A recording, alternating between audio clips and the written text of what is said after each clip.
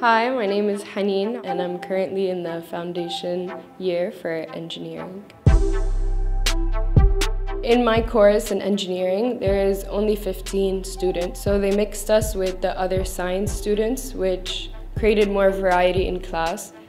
I like how the classrooms had tables that were put together. It helped when teamwork is actually essential to try and figure out a problem.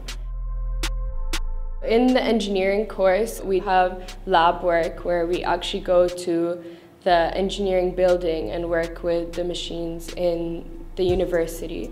And then our English courses are split up between um, some seminars and listening and note-taking exercises and then reading and writing.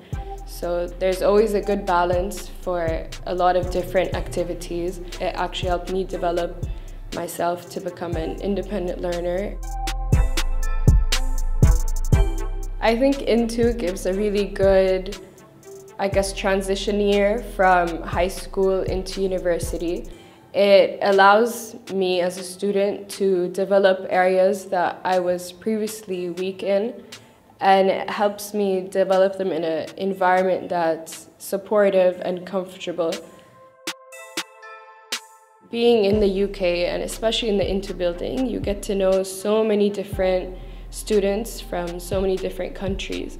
I'd say that's the most rewarding part about being in INTO and having courses like this where everyone can just come together.